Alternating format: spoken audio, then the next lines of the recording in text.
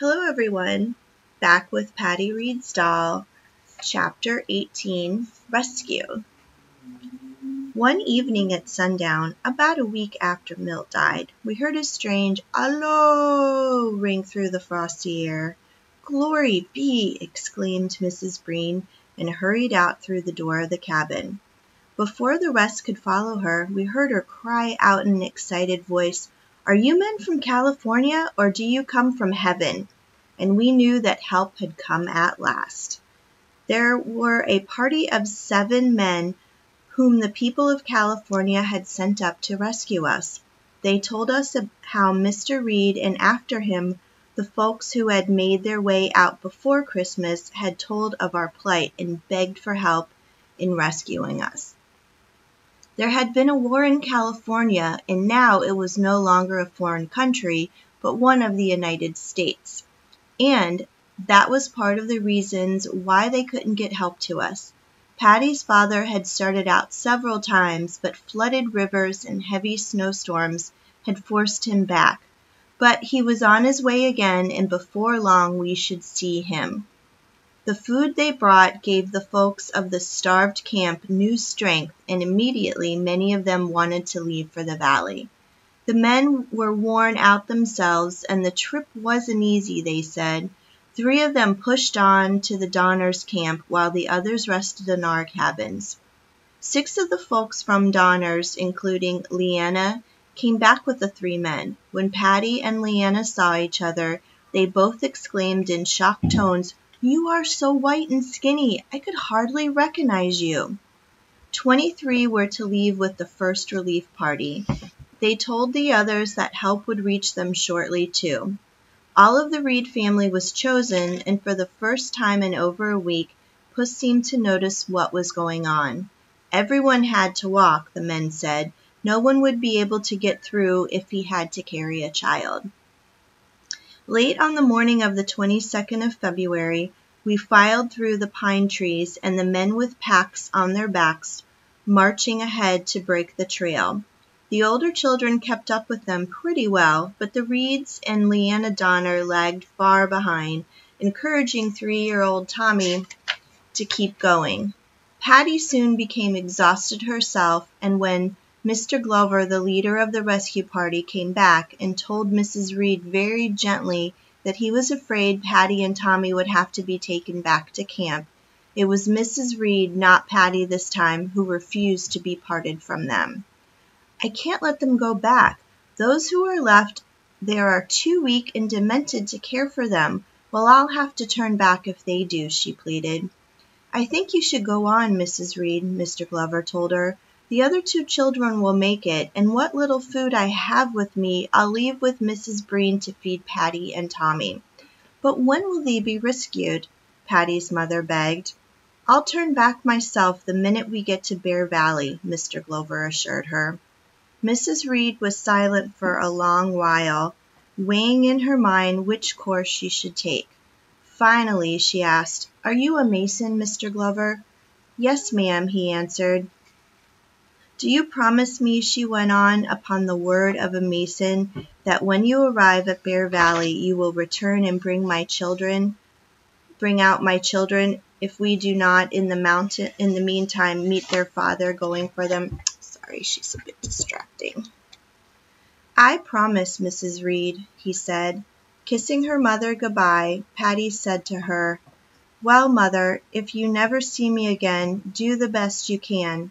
She seemed not to be crying. I guess she had become so used to disappointment that it was learning to bear it she was learning to bear it quietly and taking Tommy by the hand she turned back with Mr. Glover.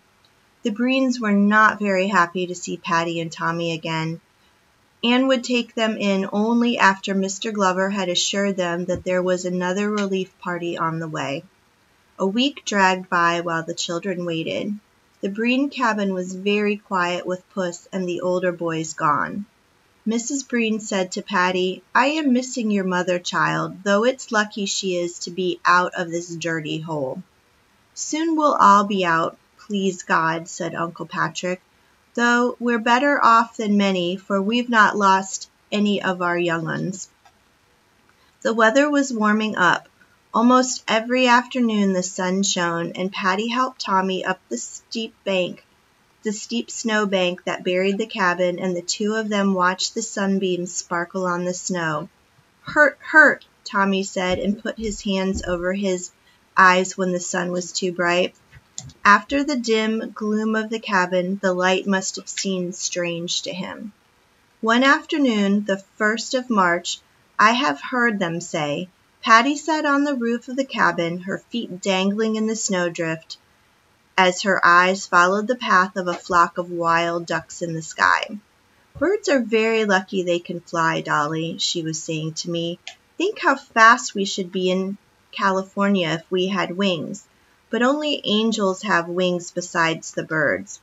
Milt and Grandma are with the angels now, and lots of other people big ones, little and little ones who came on the journey with us.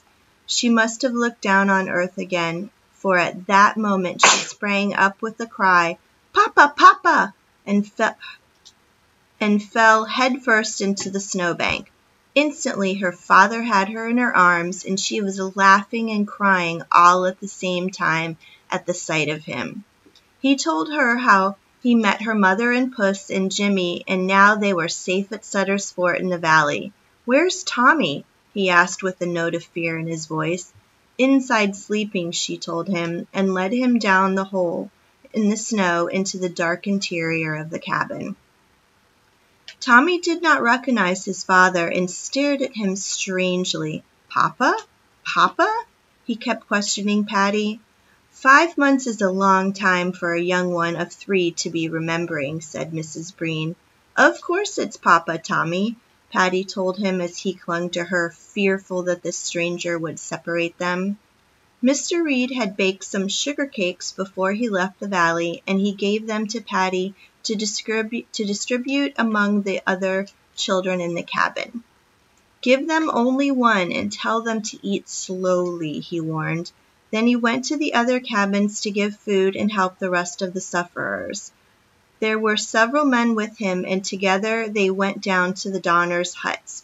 They brought back three of the older Donner children, leaving Frances, Georgia, and Eliza with their mother and father. The Jacob Donners are too weak to attempt it, Mr. Reed told the Breens, and Mrs. George Donner refuses to leave her husband. He can't last long, poor fellow. The infection in his hand has crept up near his shoulder. It's dreadful. Mrs. Graves and her children and the Breen family left with us. We traveled very slowly. The children were so weak, but everyone was cheerful. At last the long wait was over, and we were to finish our journey to California. When we camped on the snow that first night out, the men built a fire, and close to it they laid pine boughs for the children to sleep on. Uncle Patrick tuned up his fiddle, and for the first time in many weeks we listened to songs and happy laughter.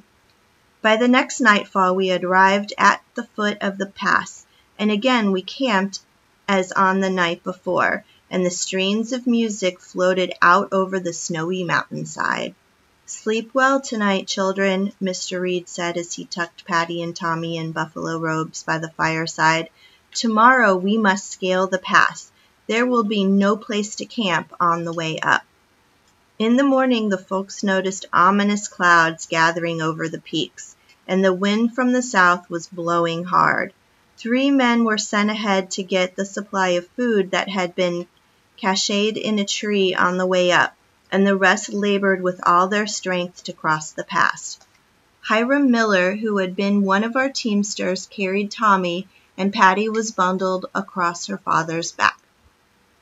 We made the grade and by afternoon camped in an open valley among the pine trees.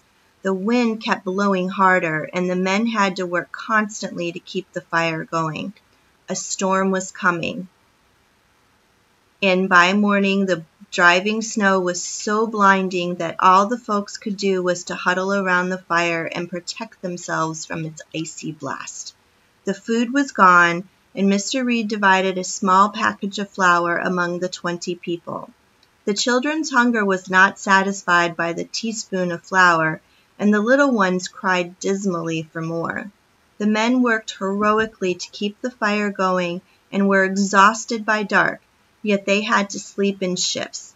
Patty's father kept first watch, but he must have fallen asleep because the fire died lower and lower, and I could not hear him moving about to replenish it. I tried to cry aloud and wake someone, but what could I do? I was only a wooden doll. Even Patty could not hear my quiet voice. Finally the cold must have awakened the sleepers. Mr. Miller and Mr. McCutcheon sprang up and started to tend to the fire.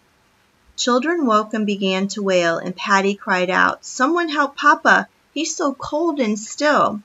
The men dragged him to the fire and chafed his hands and feet, and at last I heard them say, He's reviving. He'll come out of it.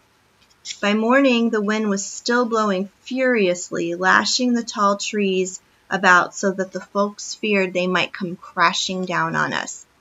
By noon it had quieted, however, and the driving snow let up. Those of us can must go on, Mr. Reed said. Another rescue party must surely be on the way, and if the men we sent ahead are still alive, they'll bring food back. The Breens refused to go. They thought they'd be better off to wait for help, and Mrs. Graves and her children stayed too. The rest of us pushed on through the heavy snow. Mr. Miller again carried Tommy, but Patty refused to allow her father to be burdened with her. I can walk, Papa, she said. You must save your strength to take care of us. Bravely she struggled through the drifts, but I could tell she was getting weaker. Finally she stumbled and fell, and as her father came to help her, she cried out happily, Papa, I see the angels watching us. They are out there among the stars. Reed, the child is dying, I heard Mr. McCutcheon say, and my wooden heart turned cold with fear. They wrapped her in a blanket and rubbed her hands and feet as they had her father the night before. She was lying very still, and I could no longer feel her heart beat next to me. From the thumb of his mitten her father drew a little piece of bread. I discovered it in a pocket yesterday and saved it for an emergency, he said. He warmed and moistened it in his own mouth and pressed it between Patty's cold lips. Gradually her heart beat stronger and she moved. I was dreaming of angels, Papa, she whispered feebly. They were so beautiful. You mustn't see angels yet, darling, he said to her. Remember, Mother is waiting for us down at Sutter's Fort. And Mr. McCutcheon said, You are a brave little child. You inspire all of us to keep going. Now try hard to keep awake and I'll help your father carry you. Warmed by the heat of his body, Patty revived as her father carried her, and eventually we arrived at a place where food had been cached. Over the next ridge is Bear Valley, he said. There will be then we'll be safe at last. Staggering through the snow, leaving a trail of blood from their swollen, frostbitten feet, the little band was met by Mr. Eddy and another relief party. They had horses with them, and gratefully, though with only a few weak words, the three men and two children rode into the land of sunshine and flowers they had suffered so much to reach.